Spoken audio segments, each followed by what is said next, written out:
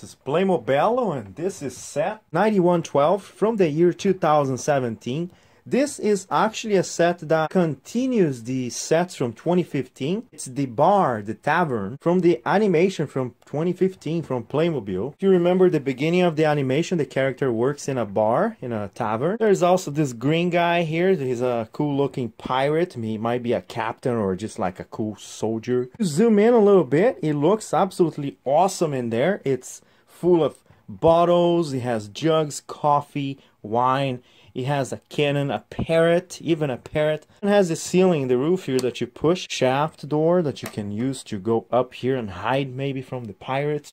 This tavern also has a trap. If you look up here, let's say this pirate is approaching them and he's like being very bad and mean. Give me free ale. What he can do, he can walk away from here and say, hey, grab your own ale. He jumps out here on the countertop. See here my thumb? You push this lever and he has knives under it. Look at that. Five knives under the candles, and he stabs him to death. That's a pretty tragic way to pass. The owner of the bar can just be happy and have a merry drink, but you can take the, every single knife out of the thing or every single candle and use it individually as you please. To put this back, you push this in and put that in and boom, it's in there. And sit down on one of the chairs, drink your ale and have fun by candlelight. You can hold the candlelight. You can sneak into the ceiling, find a treasure map and then use some candlelight to read it. You can hold a bottle, you can hold a treasure bag, or it can be any kind of bag. Maybe it's a bag full of grains or coffee, who knows. You can go nuts and shoot a cannon right onto the pirate's face Oh! You can just shoot at all the bottles and see what kind of damage you can make. Yee!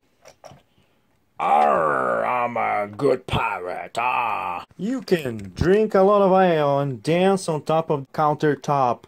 Candelabro falls on your head. At the end of the day, you can have a fist fight. This set is worth around $40 or less. This is the box. It's a very large box. You see the size of the box versus the size of the house. Look at that. and this is the back of the box. Once again, it has some features being shown. The candelabra being tossed down the ground. That little compartment. Some powder barrels up here. They drop on someone's head. There is also the accessories, which is a very small little circle. I believe Playmobil should make this a lot bigger because the most and coolest thing about Playmobil is all the accessories and the little pieces as a feature. So they should showcase a lot more than all of these empty spaces. Just like we saw in the box, let's put it to the test. Ah, what it looks like once you have the house fully closed. Look at that. This is where you open the thing. You push this like that, and it opens. Then you close like that, and it closes it. This is the back of it, pretty plain. This the roof is cool. It looks medieval. The front looks really nice. Once you open it though, this is what it looks like without any other accessory. I left the candelabra up there and the parrot because they're kind of accessories you do put in there. There is this thing here that you can move anywhere you want. You can move to this side here if you want or to this side. Thing comes with two pieces like this. You just adjust this yellow thing here. See the yellow thing? And it keeps the floor from moving it. And this part here will go under this one where there is a little connection and we'll keep that part from moving. There you go. Now they connect. And the cool thing about that is that you can kind of lift it and it doesn't fall. It's not very strong.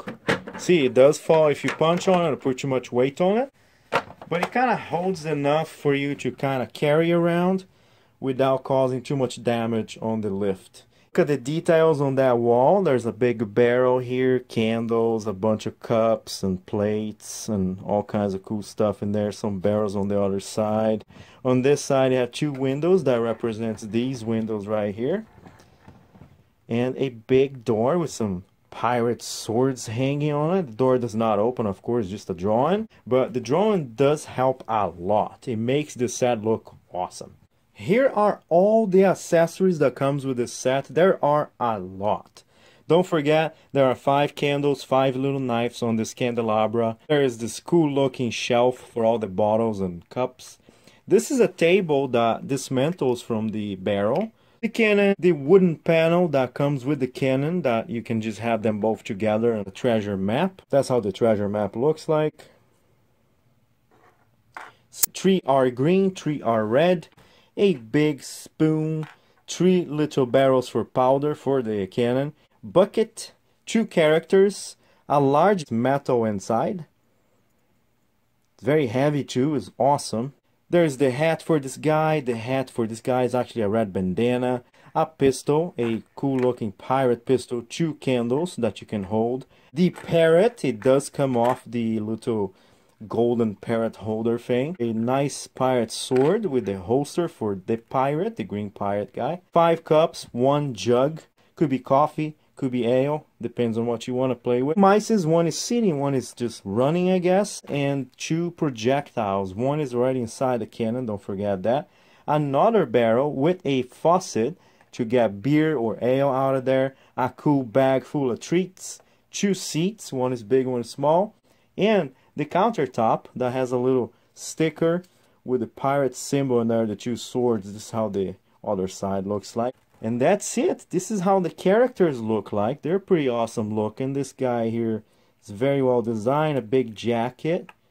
This guy here has a little jacket in there. He has a long hair. It is the pirate set from Playmobil. Set 9112. Voices of Ghosts.